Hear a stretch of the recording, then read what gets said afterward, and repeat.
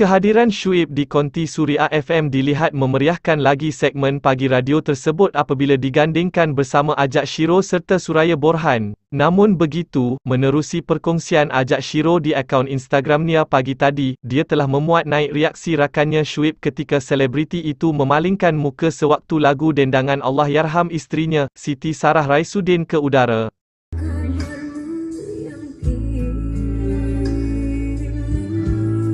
podcast ni sebab dia banyak buat video ni.